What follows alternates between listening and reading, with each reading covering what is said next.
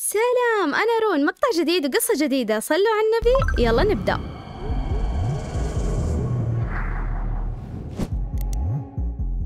تقول صاحبة القصة بدأت قصتي من لما كان عمري 15 سنة. أنا أكبر وحدة وتحتي ثلاثة أولاد وبنتين. كنت دائما أروح لاستراحة عمي علشان بناته. تقريبا يومي كله يروح في الاستراحة. النص الثاني من الاستراحة كان عمي قاعد يرممه. طبعا الكلام هذا كله في الديرة اللي كنا عايشين فيها. وكانت استراحة عمي هذه ما بيننا وبينها إلا شارعين. وأهلي خلاص يعرفوني أنا بعد المدرسة أروح للاستراحة. بيوم كنت راجعة وكنت أمشي ودخلت الاستراحة. كنت أنادي البنات ما حد كان موجود. بعدها جاء ولد عمي. أخوهم. وقتها كان عمره 23 سنة. قام يقول تعالي إلعبي معايا إلين ما يجون. وحاول يلهيني شوية إلين ما أخذني للمكان اللي قاعد يترمم. وكنت ألاحظ أن تصرفاته غريبة. وشوية شوية إلين ما اعتدى علي. مع كل محاولاتي أني أقاوم وأصرخ وأضرب لكن ما كان في أي فايدة. كنت أبكي ومن هد حيلي صار يطالع فيني ويبكي معايا ويقول لي أنا آسف. وراح يركض. أنا ما قدرت أتحرك من كثر ما كنت منهارة. كنت مثل المجنونة وجالسة أرجف وأحس بدوخة. رجولي ما كانت تشيلني من الخوف. وإيش اللي صار؟ جلست ساعة بمكاني ما أدري إيش أسوي.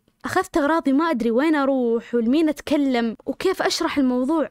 ما أعرف إيش أسوي. وصلت البيت وأشوف أبويا من بعيد يطالع فيني ويبتسم ويقول ها جيتي. سكت وكنت من داخلي أبكي. دخلت بدون ما أسلم عليه ورحت غرفتي. وقفلت علي الباب وجلست أبكي ودخلت أتروش. كنت قاعدة أضرب في نفسي وأتخيل بس إني أبغى أقتل ولد عمي بسبب اللي سواه فيني. طلعت وانسدحت ونمت. وكنت مقفلة وكنت مقفلة باب غرفتي بالمفتاح. وأصحى ألقى الباب ينطق بقوة وأسمع أبويا يصارخ. كانت نبرة صوته مرة معصب. بعدها سكت وراح. جت أمي بعدها وتدق الباب وتقول لي افتحي أول ما فتحت أمي قالت وهي خايفة وجالسة تهاوش. تقول ولد عمك جالس يقول إنه شافك مع واحد في استراحتهم. إيش مسوية انتي ومن هذا؟ بعدها على طول دخل أبويا ويطالعني بنظرة ويجي يمسك شعري. يقول صح اللي سمعته من ولد عمك؟ يقول إنه شافك مع واحد من هذا يا قليلة الأدب. وش تبغين تسوين فيني انتي؟ كان يضرب فيني. وإخواني برا الغرفة يطالعون. وأمي تصيح وتحاول تفكه مني. وتقول يا ابن الناس لا تصدقه يمكنه غلطان يمكنه كذاب. قال لا ولد أخوي ما يكذب.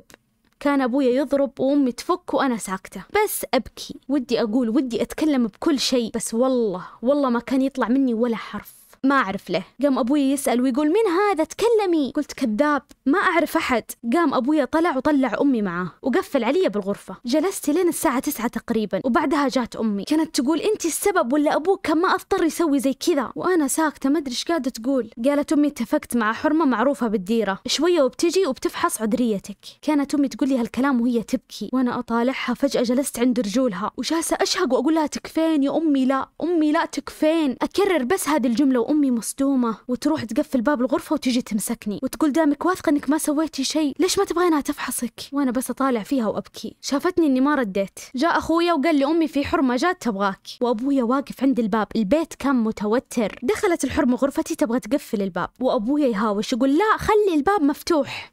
وأخذ أمي وطلعها برا الغرفة. كنت أبكي عند الحرمة وأبغى أتكلم. أبغى أقول لها تكفين لا تتكلمين بشيء. بس ما كنت قادرة. لأن أبوي واقف عند الباب ويشوف وجهي بس وجهي خلصت الآدمية ووقفت. وتقول لي أنت متزوجة ولا مطلقة؟ أنا هنا استسلمت ولميت نفسي وجلست أبكي. طلعت الحرمة هذه من البيت وما عاد سمعت حس أحد في البيت لمدة عشرة دقائق تقريبا. بعدها دخل أبوي الغرفة ومعاه عقال وعصا. وطاح فيني ضرب إلين ما أغمى علي. كان يضربني ويتفل علي حتى إنه كان يقذفني. كنت ماني قادرة لا أتكلم ولا أنطق. كنت بس أون لما صحيت من الضرب كان الباب مقفل والبيت هادي والساعة كانت سبعة. عرفت إني نمت وراح الوقت. ما قدرت أتحرك أو أسوي أي شيء. كان جسمي كله ضرب ودم. وجهي أختفت ملامحة من الضرب. جلست إلين الساعة ثلاثة العصر. دخلت أمي وأول ما شافتني أنهارت. وتقول انت اللي جنيتي على نفسك. ليش تسوين كذا؟ ليش؟ قمت أقول لها والله يا أمي ما سويت شيء. والله إن كله منا والله. قالت علميني مين؟ وقلت لها السالفة كلها. كانت تطالع فيني ومصدومة. ما هي قادرة تتكلم. بعدين قالت بروح أقول لأبوك خليه يعرف. راحت وقالت لأبويا تدرون إيش قال لها؟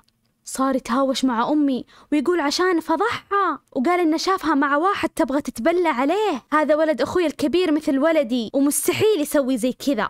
الله أكبر. جات أمي وقالت لي أبوي إيش قال؟ وأنهرت. كيف ما يصدقني أنا؟ أنا بنته أنا أولى. قامت أمي تحضني وتهدي فيني وتقول أنا مصدقتك. ولازم نفكر بشيء. أبوك إلى الآن يتوعدك يبغى يزوجك يقول بغطي العار والفضيحة. طبعا السالفة كلها وصلت العم الكبير. وأبويا كان يعتبره مثل أبوه يحترمه ويقدره. جاء عمي لأبويا معصب وقال هذه المفروض تتبرى منها وتطردها من البيت. كان يقول لأبويا كذا ويجلس يحرشه علي. وأبويا معاه يقول صح كلامك بس لازم أزوجها. قال عمي عندي اللي بيزوجها ولا تشيل هم. اليوم الثاني جت أمي عندي تبكي وتقول أبوك بيزوجك الليلة. ومن يوم ما قالت لي أمي وأنا زي المهبولة أقول لها أمي ما أبغى تكفيني أمي؟ ما أبغى اتصرفي سوي أي شيء أنا ما أبغى. قالت أمي ما أقدر ما أقدر أتصرف ما أقدر أسوي أي شيء. تزوجت غصب عني عشان أغطي فضيحة أنا ما سويتها وما كنت السبب فيها. اللي تزوجته كان عمره 35 سنة ورحت معاه غصبا عني. كنت أبكي ومنهارة وحالتي حالة. جلست أسبوع معاه وما شفت أهلي. وهو أبدا ما كان متحمل الوضع.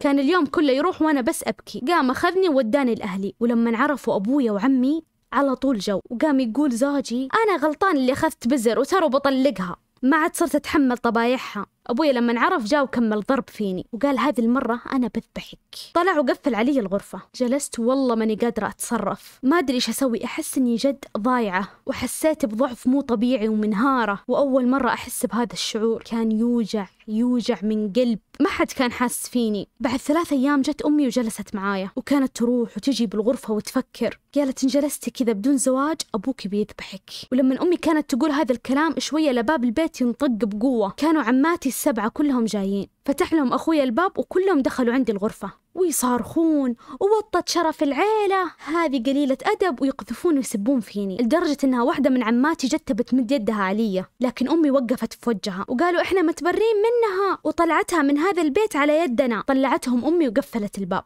وأسمع هواش وصوت أبويا وصوت عمي الكبير. قال في واحد يبغى يتزوجها عمره 54 سنة. من جنسية غير عربية لكنه ماخذ الجنسية. أقنعه في أبويا وقال موافق. أهم شيء تروح عن بيتي. خلوه يجي اليوم بزوجها. لما عرفت جلست أصيح وانهرت زيادة. ما أبغى كنت أصارخ بالغرفة وتدخل أمي وتسكتني وتقول خلاص ما في إلا حل واحد أنا بنحشك. مستحيل أخليهم يزوجونك. أنا كنت مستعدة للفكرة. بس أمي وين بتنحشني؟ أمي كان عندها شقة برا الديرة. جتها الشقة هذه ورث من أبوها وما كان أحد يعرف عنها أبدا. وما قالت لأبويا لأنها لو قالت له بيسوي مليون شيء عشان ياخذ الشقة منها. وأنا ما عرفت أصلا إن عندها شقة إلا لما قالت لي هي. قالت أنا كنت مدبرة كل شيء لكني مترددة. إلين ما شفت هذا الوضع. قالت أمي اصبري إلين يطلعون مع أبوك وبطلعك أنا وبعدين برجع وبتصرف. جت الساعة أربعة كذا طلعوا وبسرعة أمي قالت لإخواني أنا بروح مشوار. وطلعتني وقفلت الغرفة بدون ما يحسون. جلسنا بالطريق ساعة ونص. دخلتني الشقة وأعطتني أكل قالت دبري في نفسك وقامت تضمني وتبكي. طبعا أنا ماني موفرة دموع أبكي معاها. قفلت أمي علي الشقة وراحت. طبعا كانت الشقة ما فيها لا أثاث ولا شيء. جلست فيها ثلاثة أيام لا حس ولا خبر من أمي. كنت أبكي لحالي وخايفة ومستوحشة المكان ونفسي من سدة.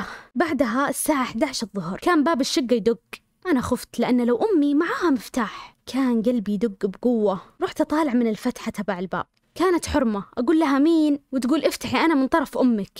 جلست أبكي أول ما قالت كذا وما قدرت أفتح الباب. صارت تقول من ورا الباب أبوك وأعمامك يدورون عليك وأمك من قبل أمس منومة بالمستشفى ووصتني عليك. أول ما قالت كذا أنا انهرت وفتحت الباب. وعلى طول دخلتها. قامت قالت لي أمك وصتني أقول لك هذا الكلام. تقول لك لا ترجعين البيت. أبوك متوعد فيك. لما عرف إنك هربتي أنجن وإنها هي بخير وما فيها شيء. وأنا يا بنتي بكون مسؤولة عنك. إلين ما تهدى الأوضاع. وأنا قريبة من أمك مرة لا تخافين. بعاملك مثل بنتي. وما حد بيعرف مكانك غيري. جلست أبكي وضاق صدري من الكلام اللي قالته. سألتها أمي ليش تنومت بالمستشفى؟ إيش صار؟ قالت تهاوشت مع أبوك وضربها وأرتفع عليها السكر. جلست منهارة وأتحسب على السبب الأول اللي هو ولد عمي. قامت الحرمة قالت بروح أتقضالك كم غرض وأرجع. انتبهي لا تفتحين الباب لأحد. وبروح أوصل الخبر لأمك. جلست لين الساعة سبعة وجت الحرمة وجابت معاها مفرش عشان أنام عليه وجابت لي عشاء. وجلست معايا وتقول اصبري علي شوي شوي إلين أساعدك على هذه الشقة وأجيب لك جوال عشان تقدرين تتصلين علي منه إذا احتجتي شيء. وطلعت بعدها وخلتني. جلست أسبوع كذا والحرمة هذه توصل لي أخبار أمي وتوصل أخباري لأمي. وبعدها بشهر عرفت إن أبوي طلق أمي. وأمي ما راحت بيت أهلها. وأول ما شفتها حضنتها ذاك الحضن بأقوى ما عندي. كنت مرة فاقدتها. وتقول أنا مو زعلانة تري عشان أبوك طلقني. بالعكس كذا استانست. أقدر أطلع وأشوف بنتي على راحتي. قلت لها طيب إخواني. قالت لازم نصبر شوية. أبوك لسه ما نسى الموضوع. جلسنا أنا وأمي شهرين بالشقة. كانت إذا تبغى تشوف أخواني تقابلهم بحديقة اليوم كله. وبعدها ترجع. جلسنا كذا لمدة سنة. طبعا أمي تصرفت وراحت تاخذ ملفي من المدرسة القديمة. ونقلتني لمدرسة ثانية. كنت أنا أبدا ما أبغى أكمل دراستي ولا حتى فكرت إني أكمل. كنت أرفض وأقول لها ما أبغى أكمل. وكانت هي أول داعم لي وأول سند.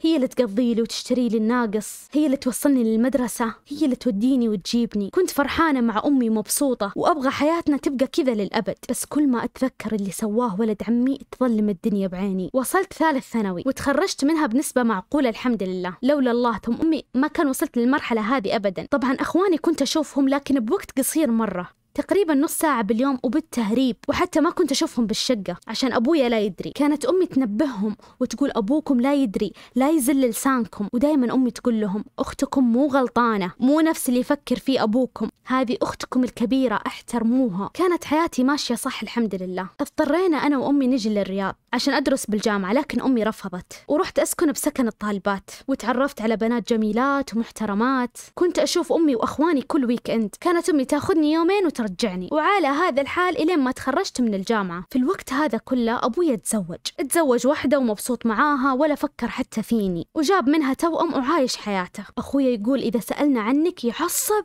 ويقول ما عندي بنت أنا. لا تجيبون طاريها بالبيت ويجلس يسب فيني. تدرون عرفت أن ربي ما يخلي المظلوم أبد. بعد اللي صار لي ولد عمي صار عليه حادث. ومن أربع سنوات وهو مقعد ما يتحرك. وصار له صعوبة بالنطق. وما تزوج وأنحرم من العيال. لما عرفت أحس ربي نصرني بكيت من الفرحة. أبوي أحس ربي عاقبه بزوجته. شاف صدق صدق بعيونه زوجته تدخل رجال البيت. طلقها في الأخير ويبغى أمي يبغى يرجعها. وأمي رافضة وقالت له ترى بنتك عايشة وقدام عيوني وأنت الآن صرت وحيد وخلك. أنا تزوجت من واحد تاجر الحمد لله ورجال بمعنى الكلمة. وسوت لي أمي الزواج ولا عزمت أي أحد من جهة أبوي لأن أصلا مو مرحب فيهم وأولهم أبويا. انتهت القصة. الرأي الشخصي مو شماتة لكن حلوة الدنيا لما تدور والله العظيم. يعني اللي صار في ولد عمك يستاهل واللي صار في أبوك برضو يستاهل. سبحان الله.